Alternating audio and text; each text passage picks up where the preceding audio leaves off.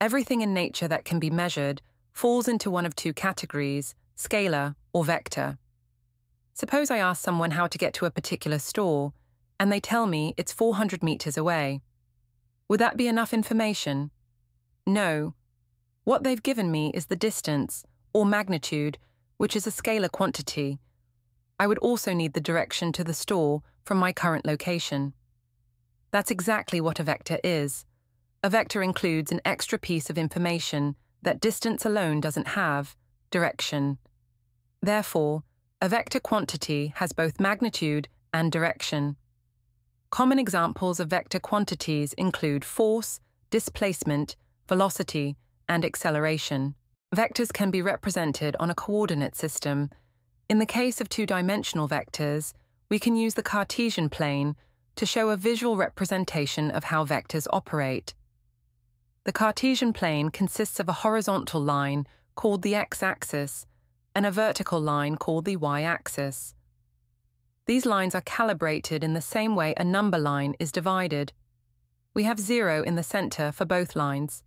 Each axis is uniformly numbered according to the distance between them.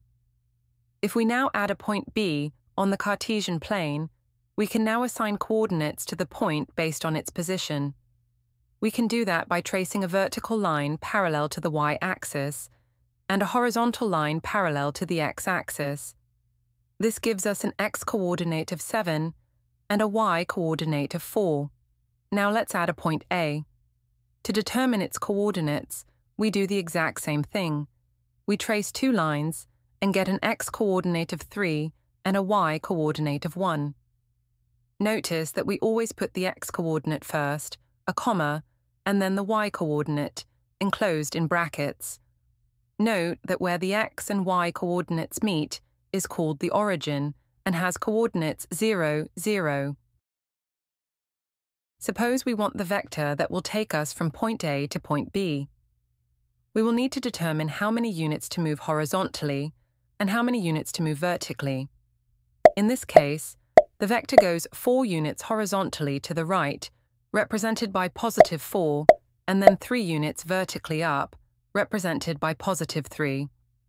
The vector is represented as a single column matrix, with the horizontal movement represented on top, while the vertical movement is represented below.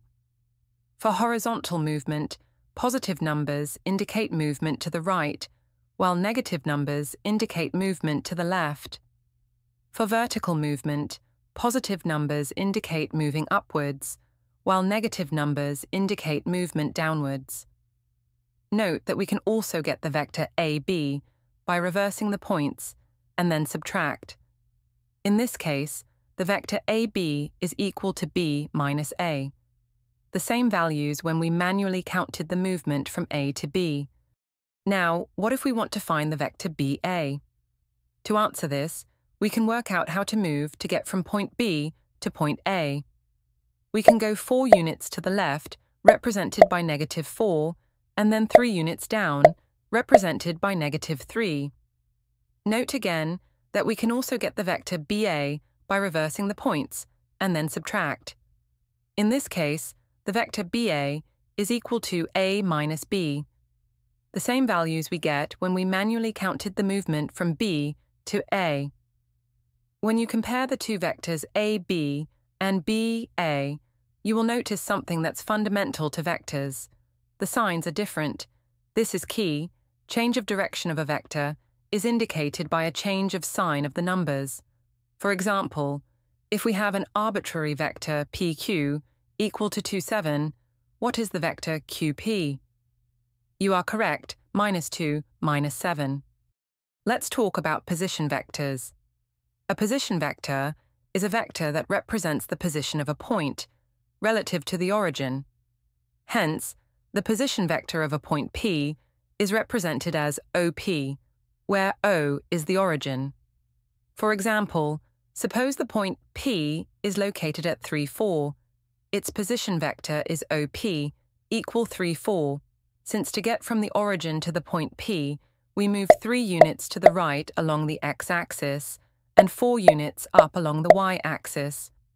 By the way, The vector OP can also be found by reverse subtraction, P minus O.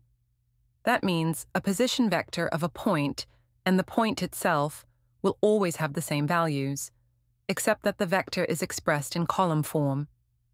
Position vectors help us to describe the location of points and play a vital role in geometry, physics, and vector algebra. To find the length or magnitude of a vector, we can use the formula on the screen. We substitute 3 and 4 for x and y respectively.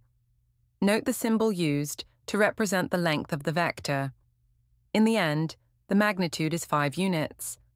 By the way, this formula directly comes from Pythagoras' theorem.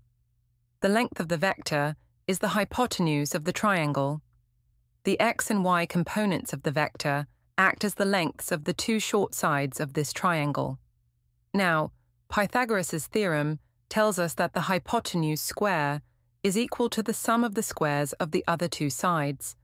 The other two sides are 3 and 4, so we can substitute these values to get 5 units for the hypotenuse, which represents the length or magnitude of the vector.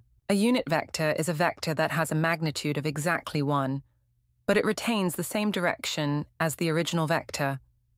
It's often used to standardize directions in physics, engineering, and mathematics.